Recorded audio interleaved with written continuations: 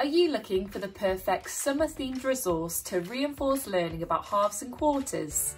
Well, if the answer is yes, then look no further than this worksheet that you can find on the Twinkl website, as well as lots of other amazing resources to help those who teach. Let's go and take a look.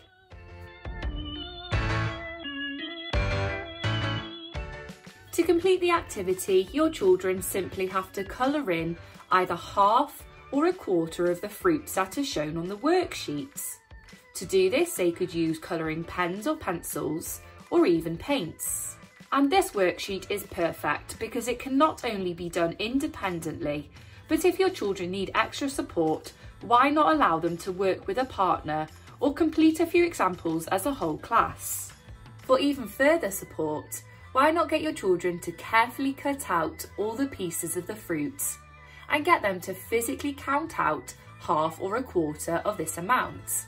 And of course, if you've got some real fruit lying around the classroom or at home, why not use this to help your children find a quarter or a half of the number on the sheet?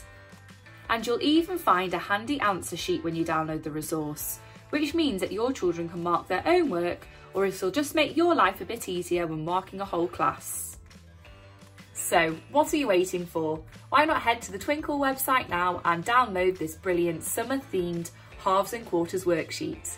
See you next time.